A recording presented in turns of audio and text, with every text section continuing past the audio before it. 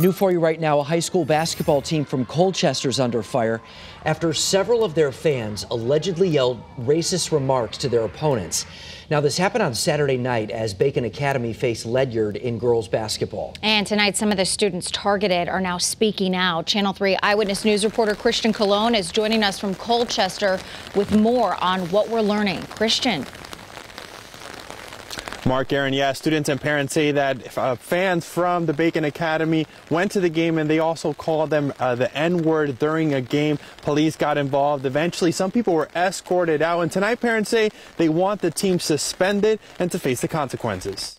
It was a Saturday night girls basketball game, Ledyard High School versus Bacon Academy. As time ran out, the commotion reportedly escalated. She was crying and she was trying to tell me something, but I didn't understand her. Nicole Walker, a senior player at Ledyard, told her mom that people visiting with Bacon Academy yelled the N word at her team.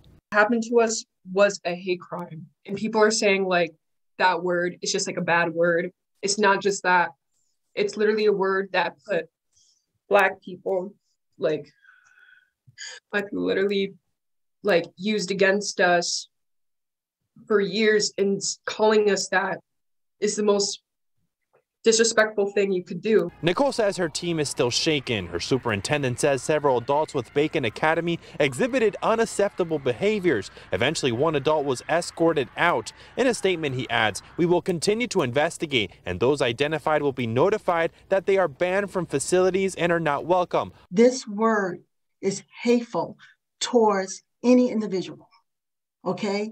And there's never a word I in team when they said that to those young ladies going to the locker room, it affected everyone.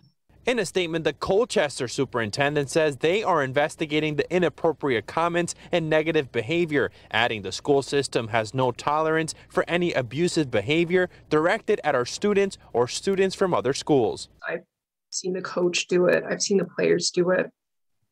Just say blatant racist things towards us. And I've been playing on the basketball team for four years. And the Connecticut Interscholastic Athletic Conference says they have not been contacted by either schools.